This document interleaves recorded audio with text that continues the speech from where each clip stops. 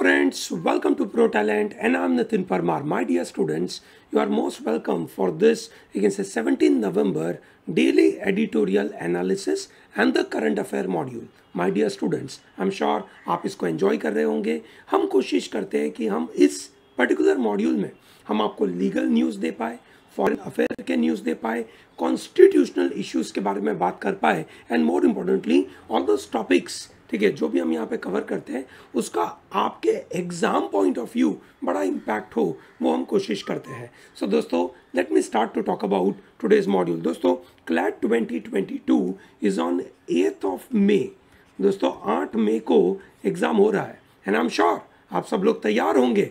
आप सब लोग क्वेश्चन की प्रैक्टिस करते होंगे। आप सब लोग अपने माइक्रो टारगेट अचीव करते होंगे और उस माइक्रो टारगेट को अचीव करते करते आप पहुँचेंगे अपना बड़ा टारगेट अचीव करने के लिए।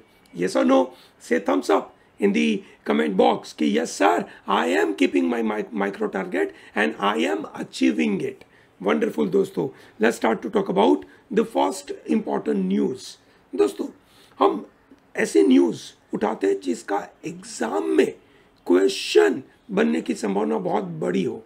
दोस्तों, बात हो रही है एनआरसी की।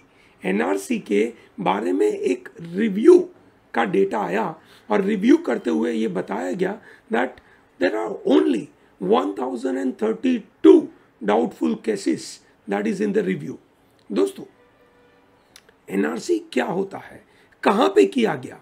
दोस्तों, NRC is a national register for citizens और ये आसाम में किया गया था। Assam is the only state in the country जहाँ पे एनआरसी किया गया है। एनआरसी पूरे इंडिया में कहीं पे भी हुआ नहीं है। ये सनो सो सबसे पहली बात आपको पता होनी चाहिए, एनआरसी का फुल फॉर्म और NRC is a list of all Indian citizens ठीक है? और वो अभी तक सिर्फ़ और सिर्फ़ आसाम पे हुआ है। दोस्तों, आसाम अकॉर्ड जो साइन हुआ था 1985 में, ठीक है? ओके और करीबन छः साल तक बड़ा एजिटेशन हुआ आसाम के अंदर, क्योंकि आसाम में जो इंडिया और पाकिस्तान की वॉर हुई थी बांग्लादेश को आज़ाद करने के लिए तो बांग्लादेश से बहुत सारे लोग इंडिया में आ चुके थे और आसाम में रहने लगे थे और there by the fight war घर वाले वर्सेस बाहर वाले, उसकी लड़ाई चालू हुई। जब ये घर वाले वर्सेस बाहर वाले की लड़ाई चालू हुई, ठीक है? तो वहाँ पे एक से अग्रीमेंट करने की ज़रूरत पड़ी, जिसका नाम दिया गया आसाम अकॉर्ड 1985 जहाँ पे ये डिसाइड किया गया कि एक पर्टिकुलर डेट के पहले जो लोग आ चुके हैं they are part of this country उस डेट के बाद जो लोग आए और उनके पास अगर लीगल डॉक्यूमेंट नहीं है, ठीक है? अगर वो प्रूव नहीं कर पाए कि वो लीगल डॉक्यूमेंट के द्वारा इंडिया के सिटीजन्स हैं तो भैया उनको सिटीजन नहीं माना जाएगा। ठीक है, ऐसा अग्रीमेंट हुआ आसाम अकॉर्ड 1985 में। हावेवर उस 1985 से लेकर अभी तक दैट इज़ सम अराउंड 2019 तक, उसका कोई इम्प्लीमेंटेशन हो नहीं रहा था कि किस तरीके से हम डिसाइड करें कि ये बाहर वाले हैं और ये घर वाले हैं। ठीक है finally with the pressure of supreme court in some around 2018 ठीक है, ये एनआरसी लगाने की ज़रूरत पड़ी और वो उसका पहला ड्राफ्ट रेजोल्यूशन केम इन 2018 ठीक है एंड देन इन 2019 जब दूसरा डेटा आया, उसमें करीबन 41 lakh people were excluded finally जब ड्राफ्ट आया out of you can say 3.29 crore applicants 19.06 lakh people were excluded from the final draft. ठीक है? ये पूरी एक्सरसाइज सुप्रीम कोर्ट मॉनिटर कर रही थी। दोस्तों, ये पूरी एक्सरसाइज सुप्रीम कोर्ट मॉनिटर कर रही थी और जब ये 19.06 लाख लोगों का एक से नाम नहीं था, ठीक है? उनको इंक्लूड नहीं किया गया तो उनको एक्सक्लूड किया गया था। उसका जब रिव्यू किया गया, ठीक है? तो ऐसा बोला गया there only 1032 doubtful cases are referred for the review दोस्तों, आपको याद होगा कि जब ये मुद्दा डेवलप हुआ that some around 19 lakh people were excluded out of 3.29 crore we can say people तो वहाँ की जो सरकार थी which is BJP led government they were not happy with it और बीजेपी गवर्नमेंट ने कोशिश करी that they wish to reject the NRC however supreme court monitor कर रहा था तो उस डेटा को वो कहीं ना कहीं डिस्कार्ड तो नहीं कर सकते थे। हाउएवर दे सेड कि भैया हम उसको डिस्कार्ड करते हैं और रीवेरिफिकेशन पे जाते हैं ठीक है? And there by there by again से जो रीवेरिफिकेशन या रिव्यू किया गया उसमें करीबन एक हज़ार बत्तीस लोगों लोग ही डाउटफुल माने गए। ओके okay, चलिए great I believe this is comfortable for you to understand what is NRC ठीक है? I give you complete idea about NRC का ओरिजिन आसाम अकॉर्ड 1985 से हुआ था। चलिए ग्रेट आगे बढ़ते दोस्तों। एक बहुत महत्वपूर्ण पी आई एल फ़ाइल करी गई थी। दोस्तों, आप सबको पता होगा P I L is a public interest litigation जब कोई बंदा on behalf of public tries to file a case in the court then that is termed as PIL. PIL is an idea derived from, you can say, USA. However, it is a very unique and innovative concept in India. Okay और ये India से पूरे world में फैला हुआ है। ठीक है? पीआईएल में आदमी का लोकस स्टैंडाई नहीं पूछा जाता है। That what is your locus standi who are you where are you coming from and how you are connected with this case ऐसा नहीं पूछा जाता है। ठीक है? That's why P I L is very unique in fact even a simple letter or a, a postcard or even a let's say whatsapp chat or a newspaper article can be termed as PIL ठीक है? चलिए great अब बात हो रही है PIL file किया गया ठीक है? For a particular temple temple में जिस तरीके की पूजा जिस तरीके की आरती हो रही थी उसके खिलाफ पीआईएल लगाया गया. इन द सुप्रीम कोर्ट ध्यान रहे supreme court is a constitutional court. ठीक है? Supreme court is a constitutional court. उस कोर्ट में किसी बंदे ने एक से एक पीआईएल फ़ाइल करी कि भैया, ये फलाने मंदिर में फलाने तरीके से पूजा हो रही है और वो पूजा एक से सही तरीके से हो नहीं रही है। तो प्लीज़ कोर्ट आइए और ये पुजारी को बताइए कि पूजा किस तरीके से हो। कोर्ट ने दैट इज़ सुप्रीम कोर्ट ने बोल दिया we are constitutional court supreme court is basically a constitutional court ना what you mean by constitutional court it is a constitutional court which deals with constitution of the country anything which affects between centre and state relationship centre and the citizens government and the citizens उनके बीच में लड़ाइयाँ हुई। ठीक है? उनके बीच में डिस्प्यूट हुआ, ठीक है? तो भैया सुप्रीम कोर्ट पिक्चर में आएगी। ये सुनो, किसी के फंडामेंटल राइट्स प्रोटेक्ट करने हैं, किसी के ह्यूमन राइट्स प्रोटेक्ट करने हैं तो सुप्रीम कोर्ट पिक्चर में आएगी। ये सुनो now can supreme court come in to a kind of decision making scenario for day to day temple rituals supreme court ने बोल दिया we can not interfere in the temples day to day rituals ये हमारा एक से दायरा नहीं है। This is not our jurisdiction which is very appropriate ठीक है? ये बहुत अच्छी तरीके से सुप्रीम कोर्ट ने ये बात बोली, क्योंकि बहुत बार सुप्रीम कोर्ट अलग अलग धर्म के डे टू डे एक्टिविटी में घुस जाती है। ये सुनो the case in the matter is Sabarimala कि वहाँ पे women should be allowed to enter into temple और not. Now that's a very dicey scenario that's a very grey area क्यों ग्रे एरिया है वहाँ पे? ग्रे एरिया इसलिए है क्योंकि women wish to enter in to temple so right to equality article number fourteen and article number fifteen के मुताबिक चलना चाहिए। ये सुनो ठीक है वुमेन को एंट्री मिलनी चाहिए।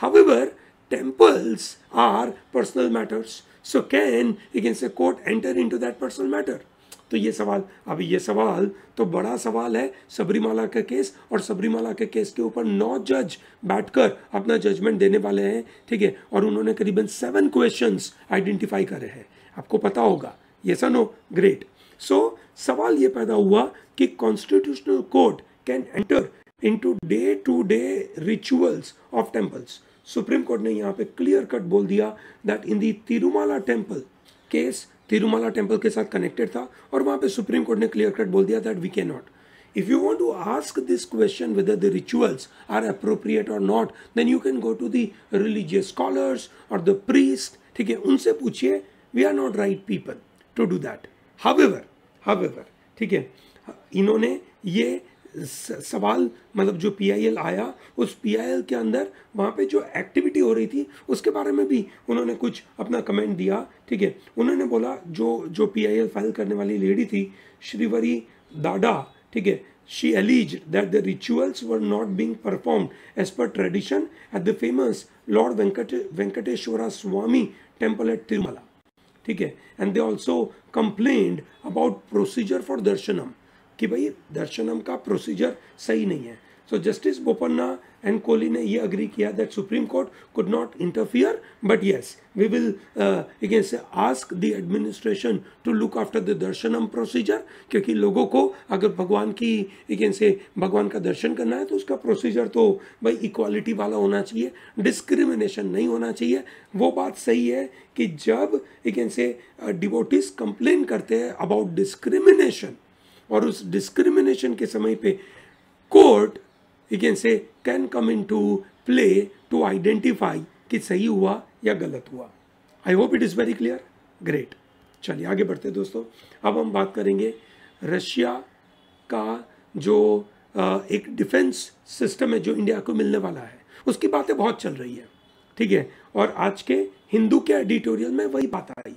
इस एडिटोरियल को अच्छे से समझते कि उन्होंने क्या आर्ग्यूमेंट हमारे सामने प्रेजेंट करी कि इंडिया को क्या करना चाहिए। इंडिया ने किया तो सही किया, या यूएसए हमारे साथ अगर कुछ करेगा तो क्या यूएसए सही करेगा कि नहीं करेगा? दोस्तों, अब इसके पीछे का बैकग्राउंड पहले समझते हैं। रशिया इंडिया को S four hundred defence missile system देने वाला है। ठीक है? और ये अभी जल्दी मिलने वाले 2018 में जब व्लादिमीर पुतिन साहब इंडिया में आए थे, तब ये अग्रीमेंट हुआ था एंड उसका एक से पहला लॉट अभी 2021 में आने वाला है या 2022 में आएगा। इसी समय पे आने वाला है, ठीक है? इस समय पे, ठीक है यूएसए में threaten to India with a CAATSA law what is CAATSA CAATSA 2017 में यूएसए ने लॉ पास किया था which is known as countering America's adversaries through sanctions act ठीक है? क्या करेंगे? अमेरिका के जो भी एडवर्जरीज है मतलब उनके जो दुश्मन है एडवर्जरी दुश्मन है, ठीक है? That is Russia Iran North Korea इनके साथ अगर कोई भी कंट्री इकोनॉमिक एक्टिविटी या डीलिंग करता है तो उस कंट्री के ऊपर इकोनॉमिक सेंक्शंस और ट्रैवल सेंक्शन लगा दिया जाएगा।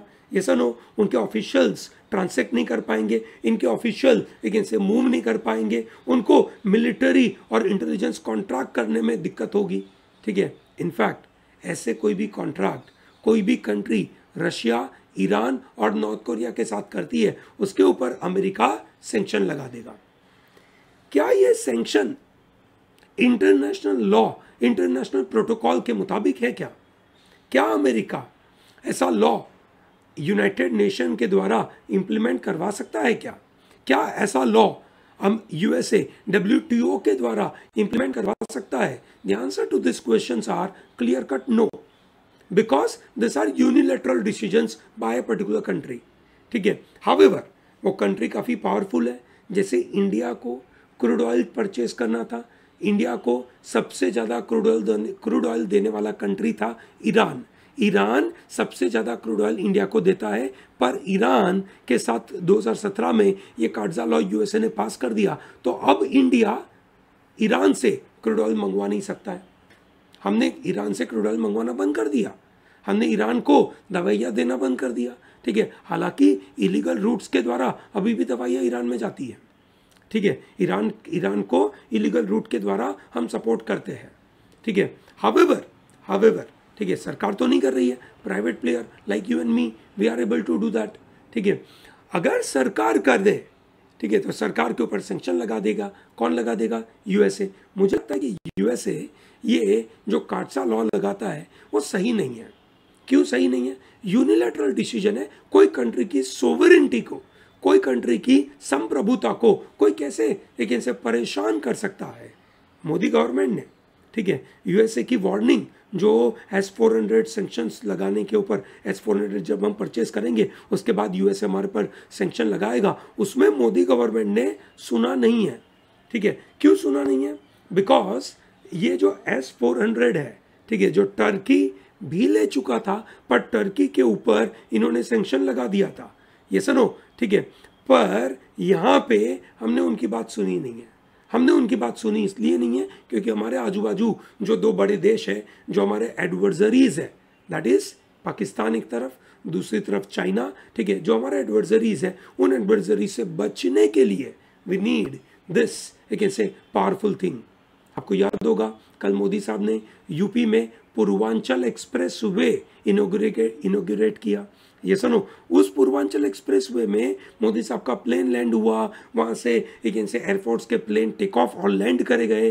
वो उस तरीके के एड स्ट्रिप लेवल के रोड बनाए गए in the case of emergency in the case of जब हमारे पास एट स्ट्रिप्स डिस्ट्रॉय कर देगा कोई तो हमारे पास ये सब रोड्स अवेलेबल होने चाहिए। आपको याद होगा in a movie call Bhuj ठीक है they have clearly mention this scenario in 1971 war with India and Pakistan Pakistan has destroyed all the airstrips of India ठीक है और भारत के लिए बड़ी चैलेंजिंग सिनारियो क्रिएट हो गई थी बट एनी anyway, ठीक है तो ये जो यूएसए का थ्रेट होता है, उसके अंदर हम इस बार बात माने नहीं हैं उनकी, ठीक है? तो ऐसा लग रहा है कि USA may take strict action ठीक है?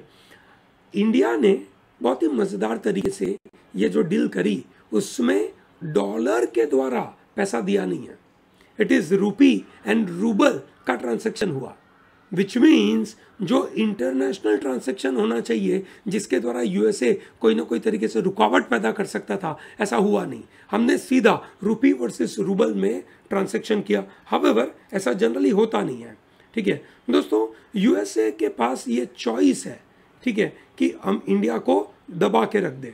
ठीक है? प्रेसिडेंट जॉय बाइडेन के साथ भी पाव, साथ भी पावर है। काटजा लॉ उनको पावर देता है कि कांग्रेस में एक रेजोल्यूशन पास करे और इंडिया के ऊपर सेंक्शन लगा दे। ये सनो, ठीक है? और वो इंडिया को फोर्स करे कि भैया तुम इस तरीके से रशियन वेपनरी के ऊपर डिपेंडेंट नहीं रहोगे, तुम पूरे वर्ल्ड से वेपन लोगे और हमसे भी वेपन लोगे। ठीक है? हावेवर मेरा मानना है कि इंडिया ऐसा कागज़ के ऊपर लिख के तो देगा नहीं। ये सनो, ठीक है? अगर यूएसए और इंडिया के बीच में सेंक्शन लगाए गए ठीक है? तो इंडिया और यूएसए के बीच में जो यारी दोस्ती है, ठीक है? क्या यारी दोस्ती है? We are a member of Quad ठीक है? We want to be again say together to fight against China ठीक है? तो उस सब कारणों की वजह से मुझे लगता है कि USA may not put such kind of unilateral sanction they will not do it ठीक है? क्योंकि एक तरीके से देखा जाए तो इंडिया ऐसे यूनिलेटरल सेंक्शंस के ऊपर केविन हो जाए ऐसी बातें मान ले तो इंडिया के सोवरेनिटी के लिए बिल्कुल गलत बात हो जाएगी। सो so, मुझे लगता है इंडिया ने एक बहुत स्ट्रॉन्ग स्टैंड लिया है। मल्टीलेटरल सिस्टम की दुनिया चल रही है। ऐसे समय पे इंडिया ऐसा स्ट्रॉन्ग स्टैंड लेकर कि हम सब जगह से सामान खरीदेंगे and we are ready to purchase even from let's say Russia it is our choice and Washington can not come and guide us to purchase and what not to purchase. I believe this entire idea is very clear to you. चलिए आगे बढ़ते दोस्तों। बहुत ही मज़ेदार सा ये एक article आया है इन इंडियन एक्सप्रेस ठीक है, बात हो रही है that we need to break the silence to talk about you can say S E X हाँ सही सुना आपने।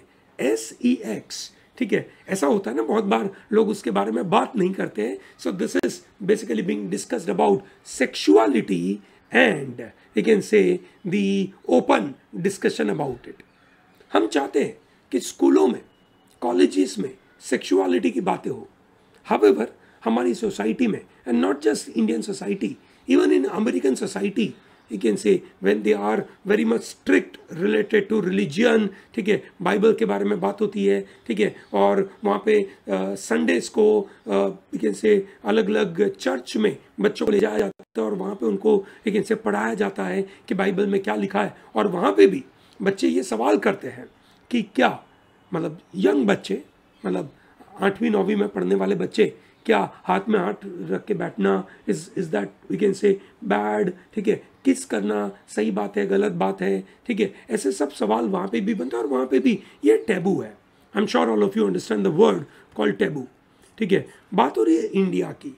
इंडिया में भी ये बहुत बड़ा टैबू है, ठीक है? जब लेकिन से कभी भी कोई इस सेक्सुअलिटी की बात करते, करता है, ठीक है? उसको छी छी छी करके छोड़ दिया जाता है, ये तो बहुत बुरी बात है। इसके बारे में बात नहीं करनी चाहिए और लोग साइलेंट होते हैं। ठीक है? They are not ready to openly discuss on this matter Priyangi Guha and Shrinidhi Raghavan, इन दोनों ने बहुत अच्छी तरीके से ये आर्टिकल में ये बताया है कि silence around sexuality has many results बहुत बुरे बुरे रिजल्ट्स आते हैं। ठीक है? कैसे? कि लोग लोगों को सेक्सुअलिटी के बारे में पता नहीं है then they actually end up doing lot of wrong activities ठीक है? For example let's say people would like to use contraceptive techniques. So they use glue on the penis and and try to think कि भैया contraception में मदद करेगा। Yes sir no ठीक है? तो भैया, इस तरीके की गलत चीज़ें लोगों के दिमाग में घुस जाती कैसे घुसती है? शायद मूवीज़ के द्वारा। शायद पोर्नोग्राफिक मटेरियल के द्वारा। शायद अगेन से इसके बारे में ओपन डिस्कशन होता नहीं है तो वो कानों में फुसफुसाकर जो बातें होती है, उसके द्वारा बच्चों के पास इनएक्यूरेट इन्फॉर्मेशन जाती है, और इस इनएक्यूरेट इन्फॉर्मेशन की वजह से, ठीक है, कोई बंदा अपने आप के साथ जो सेक्सुअल एक्सपीरियंसेस जब करने की कोशिश करता है तो गलती कर देता है, ठीक है, या उसको ये समझ नहीं आता है कि किसको वायलेंस बोलेंगे और किसको कैन से कंसेंशुअल एक्टिविटी बोलेंगे। ठीक है? भैया, ये समझना बहुत ज़रूरी है कि वायलेंस ठीक है around sexual activity and lack of information with the children related to that it is creating a kind of culture where people don't have bodily autonomy उनकी खुद की ऑटो बॉडी की ऑटोनॉमी खुद की बॉडी की choice ठीक है? उसके बारे में उनको कोई क्लैरिटी होती नहीं है। इनफैक्ट लॉ भी बच्चों को बॉडीली ऑटोनॉमी देता नहीं है। ठीक है? उनको बॉडीली चॉइस देता नहीं है। ठीक है? उनकी बॉडी के साथ अगर किसी को चॉइस देनी है कि उस बॉडी को कौन टच करेगा, कैसे टच करेगा, उसकी चॉइस ठीक है? लॉ और हमारी सोसाइटी देती नहीं है। ठीक है? क्योंकि छोटे बच्चे या स्कूल में होते या घर में होते या कहीं पे भी होते, उनके बारे में जो भी डिसीज़न लेना है, उनके पेरेंट्स लेते हैं। बात सही है? क्योंकि बच्चों को पता नहीं है कि उनको डिसीज़न क्या लेना है। ये सनो और इसलिए उनके बिहाफ में लेकिन से पेरेंट्स डिसीज़न लेते हैं और उसकी वजह से हम सबसे बड़ी गलती कर जाते हैं कि बच्चों को जो ना कंसेंट देना या नॉन कंसेंट देना, उसके बारे में डिफरेंस उनके बारे में बचपन से वो कॉन्फिडेंस हम नहीं दे पाते हैं। दोस्तों, महाराष्ट्र हाईकोर्ट के अंदर पॉक्सो का एक केस गया था, ठीक है? उस पॉक्सो के केस के अंदर महाराष्ट्र हाईकोर्ट ने यह जजमेंट दिया कि अगर सिर्फ़, एक से ग्रोपिंग एक से child's organs may not be term as sexual harassment it has to be a skin to skin contact उस मुद्दे के ऊपर भी बड़ा बवाल क्रिएट हुआ था। और बाद में सुप्रीम कोर्ट को भी इंटरवीन करना पड़ा और सुप्रीम कोर्ट को बोलना पड़ा कि ना भैया, ऐसा नहीं है, ठीक है? Even groping will be termed as sexual harassment ये सनो सो ये क्लैरिटी नहीं है कि भैया बच्चे एक तो बच्चों के अंदर अवेयरनेस नहीं है, ठीक है? बच्चों को प्रोटेक्शन कैसे किया जाए ऐसे वायलेंस के द्वारा, उसके बारे में आइडिया नहीं है। दोस्तों पॉक्सो लगाकर अभी तक नौ साल हो चुके हैं और उस नौ सालों के अंदर, ठीक है? पॉक्सो को अभी भी पुराने लेकिन इसे सेक्सुअल विचारों के द्वारा उसको इंटरप्रिट किया जाता है, ठीक है? और उसके द्वारा बच्चों का प्रोटेक्शन जो होना चाहिए, वो सही तरीके से हो नहीं पाता है, ठीक है? So there by the argument presented by Priyangi Kuha and Shrinidhi was ठीक है primarily that we need to break the silence about sexuality because it is taking toll on children we have to openly discuss Okay? We have to provide comprehensive sexuality education in the school as well as in colleges and there has to be open discussion about it okay i believe such kind of communication has to be presented to everyone silence on sexuality is really a kind of bad thing especially for the vulnerable group like children दोस्तों जिस meeting की की काफ़ी बेसब्री से इंतज़ारी थी। वो meeting हो चुकी। वर्चुअल मीटिंग हुई। आज के ज़माने के दो सबसे पावरफुल एक से कंट्रीज़ की लीडर्स की मीटिंग हुई। शी जिनपिंग साहब की कंट्री ने अमेरिका के कंट्री का, अमेरिका का जीडीपी का जो लेवल था, उसको क्रॉस कर दिया। ठीक है? कल ही उन्होंने क्रॉस किया। चाइना का GDP has crossed America GDP which is very powerful तो आज इकोनॉमिकली अगर super power number one country अगर कोई कही जाए सो दैट इज़ चाइना ठीक है? और ऐसा माना जाता है by 2025 possibly China will rule the economic activity and उसका टेन्योर होगा करीबन 10 से 15 साल। ठीक है? China will be the next super power अब ये दोनों लोग वर्चुअली मीट कर रहे थे।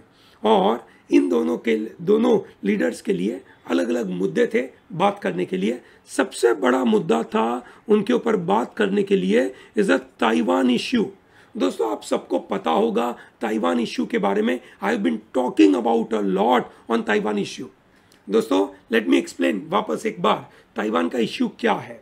दोस्तों Taiwan originally known as Formosa island जब चाइना में Kuomintang party which is landlord की party Kuomintang K M T party के चियांग काइशक जब रूल करते थे, ठीक है? ओके तब ताइवान के जो फॉर्मोसा आइलैंड था, वहाँ पे उनका एक इनसे कंट्रोल हुआ करता था, ठीक है? क्योंकि उसके पहले जापान उसको जीत चुका था वर्ल्ड वॉर टू में जापान हार चुका तो जापान ने ताइवान को एक इनसे चाइना को दे दिया।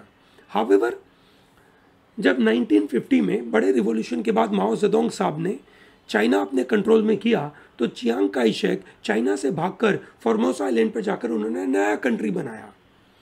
यूनाइटेड नेशन में वो नई कंट्री, ठीक है which is R O C Republic of China जिसको कहा गया था, उसका प्रेजेंटेशन चियांग काइशेक करते थे, ठीक है, और पीपल्स रिपब्लिक ऑफ़ चाइना का कोई से वैल्यू नहीं था चाइना मतलब यूनाइटेड नेशन में। It is after, you can say, few years, it is PRC got, you can say, recognition in United Nation और ताइवान अलग देश माना गया चाइना अलग देश माना गया। हावेवर चाइना ताइवान को अलग देश मानता नहीं है। ठीक है? उसको इंडिपेंडेंस नहीं मानता, वो बोलता है कि हम यूनिफाई करेंगे। We want to go for peaceful reunification of Taiwan with China क्या वर्ड यूज़ करा उन्होंने? पीसफुल रीयूनिफिकेशन बहुत इंपॉर्टेंट टर्म है, इसको समझिएगा। ठीक है? चाइना चाहता है कि ताइवान को हम चाइना में रीयूनाइट करें। ताइवान बोलता है, ना we want to be remain independent जिसके लिए अमेरिका ताइवान को सपोर्ट करता है।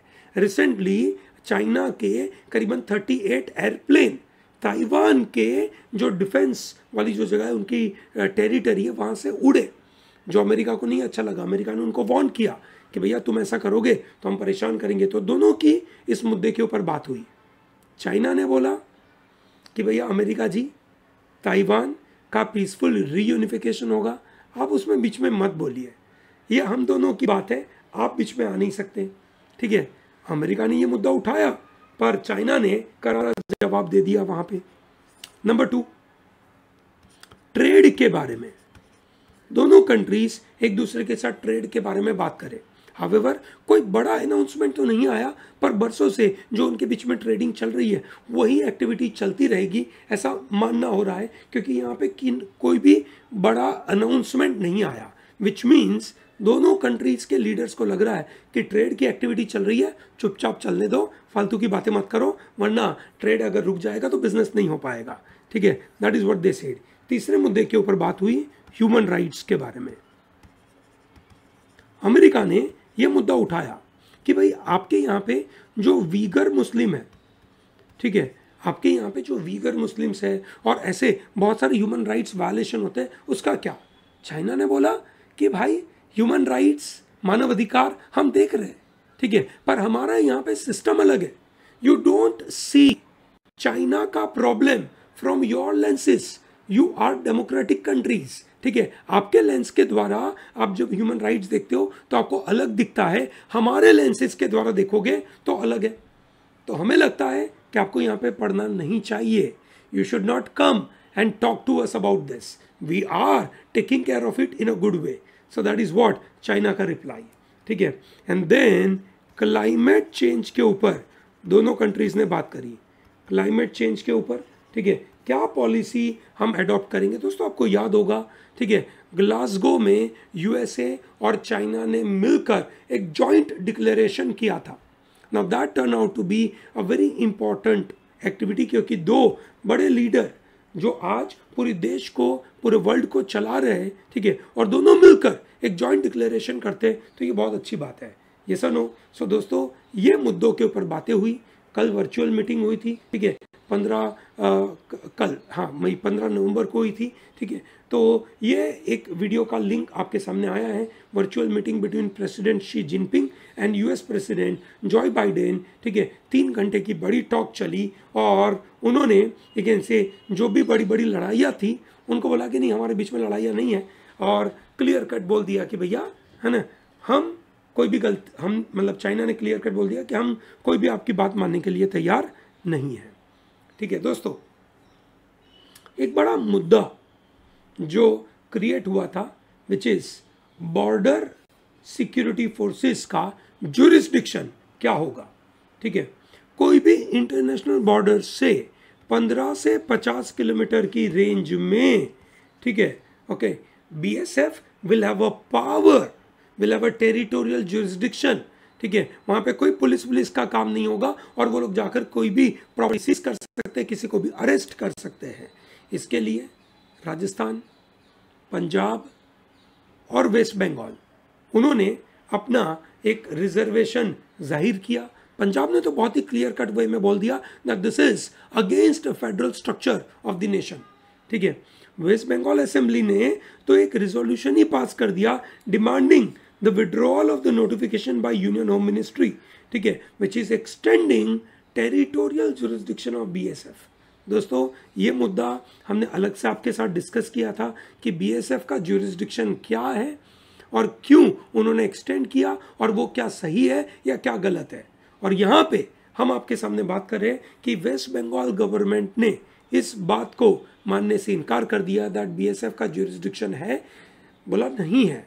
ठीक है क्लियर कट नहीं है और असेंबली ने रेजोल्यूशन भी पास कर दिया कि भैया, ये ये जो आपका जुरिस्डिक्शन बोल रहे हो, वो विड्रॉ कर दीजिए। हम नहीं चाहते कि हमारी ऑटोनॉमी हमारी स्वायत्तता, हमारी सोबरिनिटी के साथ कोई छेड़खानी करी जाए। मेरा मानना है कि सरकार को अगर बी एस एफ़ जुरिस्डिक्शन बढ़ाना भी था, ठीक है, और उसके पीछे जेन्यून रीज़न है so they should take all the states into confidence कितने स्टेट्स को कॉन्फिडेंस में लेना पड़ेगा? बहुत ही कम। ये सनो, जो बाउंड्री इंटरनेशनल बाउंड्री के साथ कनेक्टेड है, उन्हीं को लेना पड़ेगा। अगर आपके पास जेन्यून कारण है तो वो एक्सेप्ट करने में तो किसी को दिक्कत होगी नहीं। ये सनो, चलिए ग्रेट आगे बढ़ते दोस्तों। बात हो रही है transfer and transparency in judiciary दोस्तों recently there was a case came for Madras high court you can say के judge Sanjeev Banerjee he was transferred from Madras High Court to Meghalaya high court जिसकी वजह से सवाल पैदा हुआ that is there a transparency in the transfer of judiciary और not अब आप ये सवाल पूछेंगे कि क्या बात कर रहे हैं sir transfer Madras high court से मेघालय हुआ, उसमें क्या ट्रांसपेरेंसी की बात आई? अरे, बहुत बड़ी बात आई। आपको मैं बता दूँ कि मेघालय में जब भी कोई जज का ट्रांसफ़र होता है ठीक है? या गवर्नर का ट्रांसफ़र होता है, समझिएगा। गवर्नर को भी मेघालय में ट्रांसफ़र किया जाता है, ठीक है? वो ट्रांसफ़र इसलिए किया जाता है कि उनको कहीं ना कहीं पनिशमेंट देने की बात हो रही है। ठीक है? क्या बात हो रही है? पनिशमेंट देने की बात हो रही है।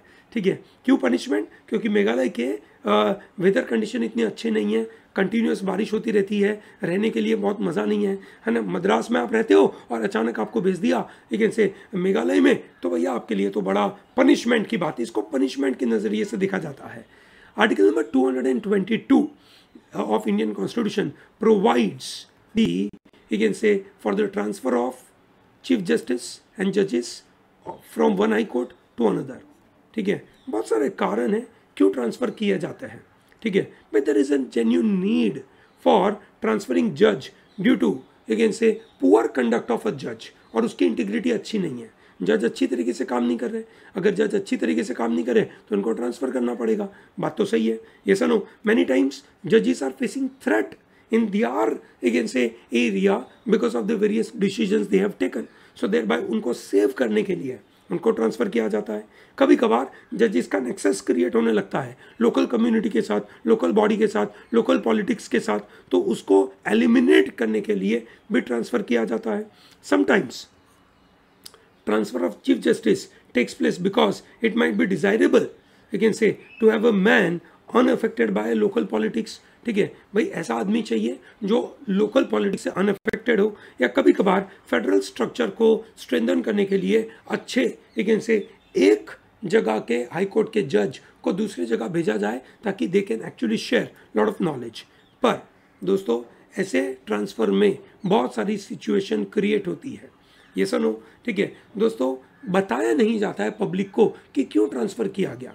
What is the genuine reason ठीक है? कभी कभार पनिशमेंट के नज़रिए से माना जाता है, ठीक है? दोस्तों, बहुत बार जजेस व ट्रांसफर्ड ठीक है?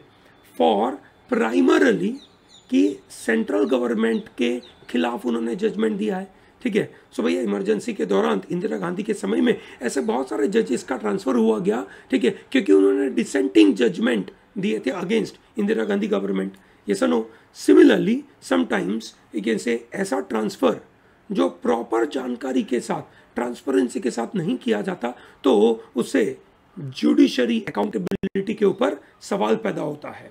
ठीक है? ऐसे frequent transfer due process of law को भी अफेक्ट करता है। ठीक है? और ये एक पूरे कम्युनिटी के सामने, पूरी सोसाइटी के सामने, पूरे देश के सामने एक इमेज क्रिएट करता है कि भैया, ये जो कॉलेजियम सिस्टम है, वो अच्छी तरीके से काम नहीं कर रही है। Collegium system is a system through which the जजेस आर अपॉइंटेड और दे आर ट्रांसफर्ड ये सनो so they are opaque and there by it is really not okay दोस्तों, कोई जेन्यून कारण के बगैर अगर जज का ट्रांसफ़र किया गया, ठीक है तो ये एक एग्जीक्यूटिव और जुडिशरी का नेक्सस क्लियर कट बताता है और ऐसे नेक्सस को तोड़ना is very important for any Ganatantra, any republic, any democratic you can say system. दोस्तों there are many controversies are getting created कि कोई जज को आपने हायर पोस्ट पे लगा दिया और यू कैन से जिसकी जेन्यूनली ज़रूरत थी उसको नहीं लगाया। ठीक है? ऐसा भी बहुत बार होता है। क्यों ऐसा होता है? जिसको जेन्यूनली ऊपर लगाना चाहिए उसको नहीं लगाया उसको हायर पोस्ट नहीं दी। क्यों नहीं दी? क्योंकि शायद उसका एग्जीक्यूटिव के साथ कोई अच्छा नाता नहीं होगा। ठीक है?